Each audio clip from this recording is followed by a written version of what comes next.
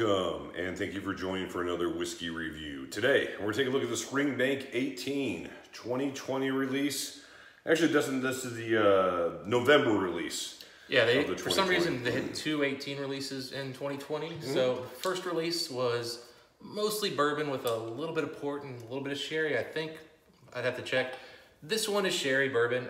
I, I want to say we're almost 50-50 split. I honestly forgot to do the research before we started. I want to say this is 55-45. We'll put it in the description. 46% ABV, like Springbank 18 normally is. Justin, this is, I, I've had this whiskey many times. I haven't had it recently, nor have I ever done a review on it, which seems strange. That is, yeah. I've got a couple. I've got a, I've got the other 2020 release. I've got a, believe it or not, I've got a 2014 release that they just keep showing up randomly locally, so I just mm-hmm. keep picking them up. Uh, but this one really impressed me, Mike. If you recall, I got this bottle, called you and Keith, and was like, guys, if you like Springbank 18, this is the one to get. Keith ran out and picked one up. Also, I got a great price on it. What did you pick it up for? 120. Yeah, it's a good deal. Yeah. Beautiful, rich, light, I would say light gold. Gold Yeah, minus one you color. can definitely tell there is some sherry, you know, color. Maturation in there. Probably not first fill. And as we know, Springbank always does natural color, unchill filtered. Yeah, they do everything the integrity way. Yeah, the right way. All right, so getting into this, it's a lot of what I always remember of Springbank 18. A lot of funk. This is more funky than most 18s in my mind, Mike, because there's more sherry, and that's a lot of where the funk comes from on some of these uh, casks. There's obviously the natural Springbank funk, but Mm. this has got sherry funk big time. Yeah, I mean, I guess in my mind, again, it's been a while since I've had the 18. It's funky. I guess I didn't think that the other ones were less. I always kind of thought this was a funky Well, whiskey. you know, our buddy Keith, Malted Man Cave, go check out his channel, guys. He tends to buy the Springbank 18s that are more sherry. Mm-hmm. So he sees higher sherry concentration, he buys them. So you probably have had a lot of them that are like this. You're right. We'll yeah. at some point get around. I've got the first release from 2020, which has the port and a little higher bourbon content. Mm-hmm. That one's a little less funky. So maybe we'll get around to that one at some point. Yeah, I would have to. I would have to actually have one. But you're right. A lot of the ones, a lot of times I can drink a Springbank 18 is, is definitely what the Malted Man Cave. And speaking of a tasting note that I'm gonna steal from him is those uh, vinegar potato chips. And he's right. That is so prevalent in this 18 year old. Absolutely. There's like a there's an oak woodiness, but I, Mm-hmm. I don't know how to explain this, Mike. It's almost like instead of it being like a olfactory sense I'm smelling, it's almost like a feel. And it's like imagine if like wood was like grooved. Uh huh.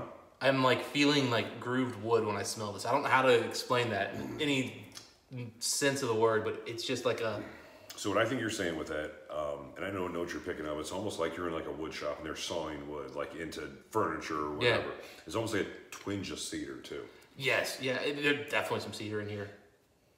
Like um, there's a, a local shop down the street and they do like a jewelry repair. And I remember I walked in there one time. They had these boxes like that. That I assume you would put like jewelry watches Mm-hmm. that sort of thing. And they were like wood on the outside, but they were like lined with cedar and they were open. You could smell them like right when you walked in the building. You could just smell that fresh cut cedar. But part of it was in the back was their workshop. You hear a saw go every once in a while back Mm-hmm. Yeah. there just for a second while someone's making a cut. And there's that smell of fresh cut cedar that is unmistakable if you've ever worked around woods. Yeah, and then you, there's sugar cookie, there's sea salt. There is salt. Now, I get less sugar cookie with this one It's very low. that, that I do with most Springbanks. I think because that vinegar note is so predominant. Yeah, and that's again, that's a sherry cask coming in here. There's a good bit of it's it's there's like old world oak and again that cedar oak. They're all it's all just kind of playing and interwinding. Mm-hmm. And it's a little sour. But again, this is again, it's one of those like I really appreciate the sourness of this particular uh, whiskey. Well, because you know it, there was intent. Yeah, yeah. And, and again, they're all all of the 18s are like this. All of them are. I mean, again, some are cleaner, some are sweeter, some are this, that, and the other. This one is more funky than most, and what, that's what I like about this one is that it's, to me, this is Springbank at its most like Springbanky. like, like you know, if you think of Springbank, you are thinking about a bourbon sherry matured whiskey. Mm-hmm. They're all, you know, that's their core. That's been their the 12 year, that's the 10 year, the 18 year. Those have always been until recently. The 12's deviated, but it's always been sherry bourbon mm-hmm. with these kind of funky bourbons and funky sherry notes kind of coming in, and then that Springbank just malty funkness. I tell you what, The 10, it doesn't bother me. It's at 46. This is a whiskey that I really would like to see at a higher ABV. And I think that every time I every time I nose and drink this whiskey. I really like everything they have. If they could just up, up it to 48, 49, just a little bit something mm-hmm. extra to drive it home. But again, it's a very nice, very well done, funky Springbank It has a nice little vinegar chip note to it, which I really like. What do you think of on the palate? Oh man.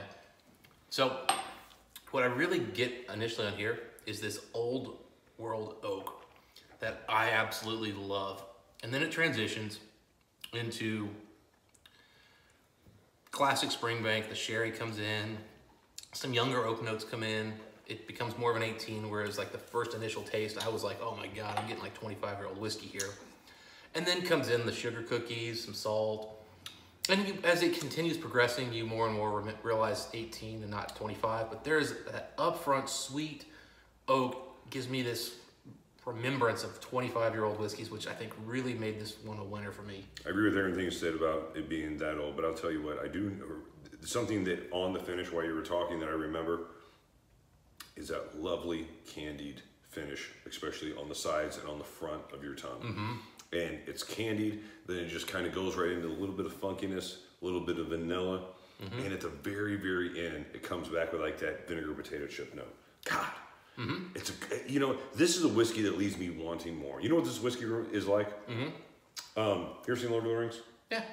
Remember how the first one ended, like on that big cliffhanger? Yeah. Like, oh, I can't believe you ended it right here.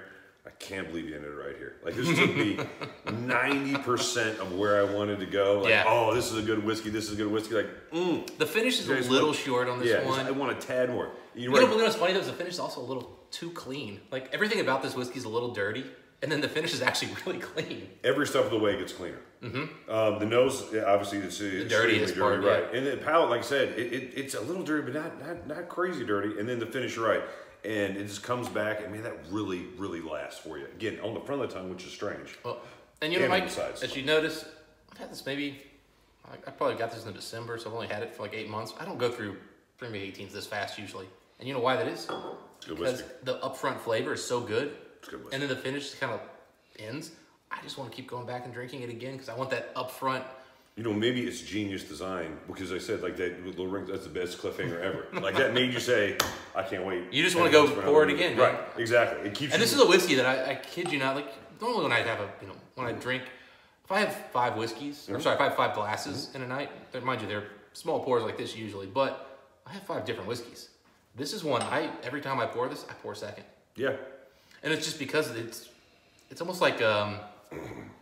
It's like something they put in the bar that intentionally, like you know, you eat like pretzels and Yeah. peanuts, and then all of a sudden you, you take a sip. This thing, Yeah, as soon it- as it finishes, I want another sip. Just like a vinegar chip, it beckons for another one. Uh, it's just some chip company made the had the um, advertising slogan, "You can't eat just one." Lay's, I believe. Yeah, and they were right. You couldn't. Um, Yeah. But this whiskey is the same way. Like when I said it just leaves you want, like just something a little extra for I think Pringles did. Once you pop, you can't stop. Once you pop, you can't stop Yeah, either. It- it's a hard whiskey not to go back to and back to and back Now, to. you know, I wasn't thinking about that vinegar chip when you first said it, Mike. Mm-hmm. And I was smelling it and I was like, yay, ish. Mm-hmm. Water. That is dead on what this is. yeah, it's It like really fi- brought that out. It brought the oak down, though. it's like five guys French fries with a bunch of vinegar. A lot of vinegar. So much vinegar. Mm. Like turned it sweet. It's so vinegarish. But the finish on the nose is actually clean. There's nothing clean about this nose finish. What are you talking about? Dude, there's a clean vanilla oak note there Come at on. the end. Come on. It's Beautiful. not. It's not clean. It's a funky, dirty Springbank. It's funky, dirty, and then there's clean vanilla oak, man, there at the end. It's vanilla oak that got ran through a chimney when it was already lit for a month. I'm getting a distinct clean note there at the very end, but it's dirty up to that point. Yeah, great whiskey, great whiskey. You know, again, every time I go back to this whiskey, I'm like, why don't I drink this whiskey more? Like when you when you came in like 120 bucks, I'm like, eh. I always say, and again, I always feel that way when it comes time to buy this whiskey. Every time I drink it, I have a good time with it. because these are 240 in the states when you see them, and they're which is a little much for these. Mm-hmm. But man, 120, and I bought two. The funny thing was they didn't have a limit on this one when I first found it, so I just bought one. Wasn't thinking about it. I thought, oh, they'll have plenty, because I hadn't quite. You keep you keep thinking that with Springbank, and you keep being wrong.